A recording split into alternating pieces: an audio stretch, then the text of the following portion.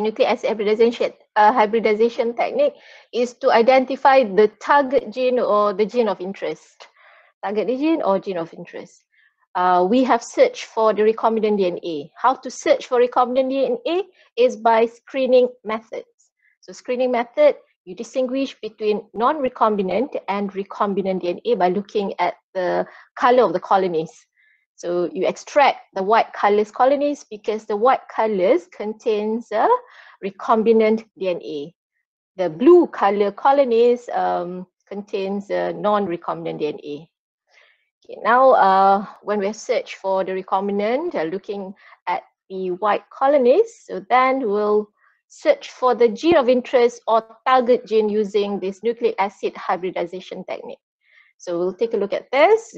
This is to identify the gene of interest or target gene. And the probe, that is important probe for nucleic acid hybridization is nucleic acid probe or genetic probe, or can call it as the radioactive probe.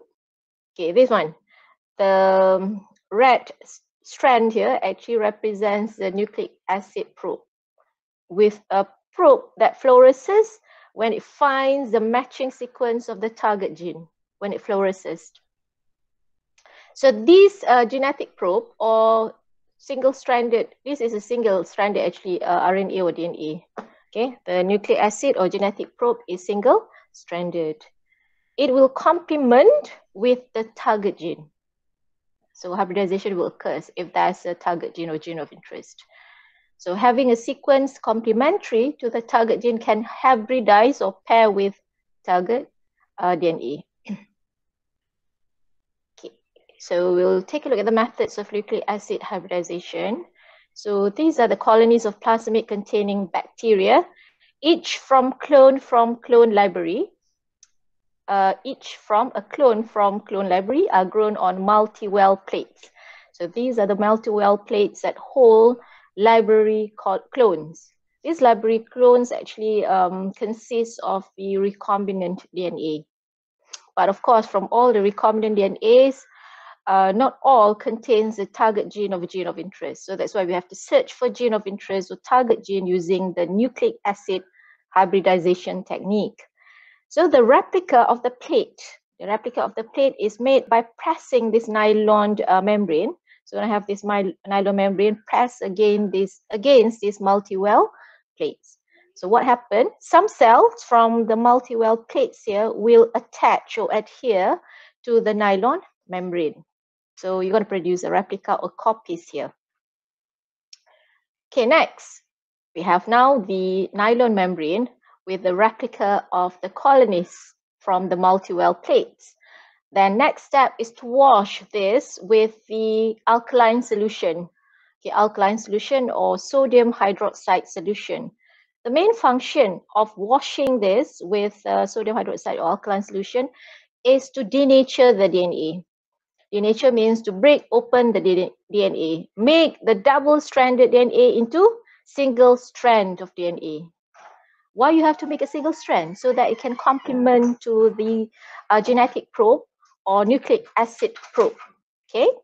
So this is to denature first, so to get one strand of DNA. So this uh, contains, a single-stranded DNA contains a radioactively labeled or fluorescent labeled probe and then hybridization take place. So this hybridization. This is a single-stranded probe that fluoresces when it pairs up with a target gene or gene of interest. Uh, this one is a figure that shows hybridization, means that there's a complementary base pairing takes place there, and the fluor uh, it fluoresces. Okay, then the target gene is uh, is matched with the target gene or the gene of interest. So only those colonies containing the gene will retain the probe and emit radioactivity on film placed over the filter. This is the film, this is the nylon membrane, and this is the location of DNA with the complementary sequence. So this is the location, the dots here. So this technique uh, is known as autoradiography techniques by using the film here. And then the last one, of course, you need to make a comparison so comparison with the original plate.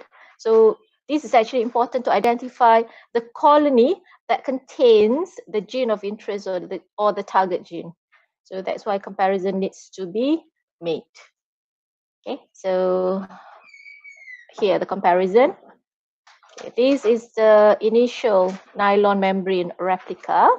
And this is from the autoradiography technique film with the location of DNA with a complementary sequence. And then you need to compare it. And seems that the gene of interest is located here. This is the target gene or the gene of interest when you compare with the film from the autoradiography technique.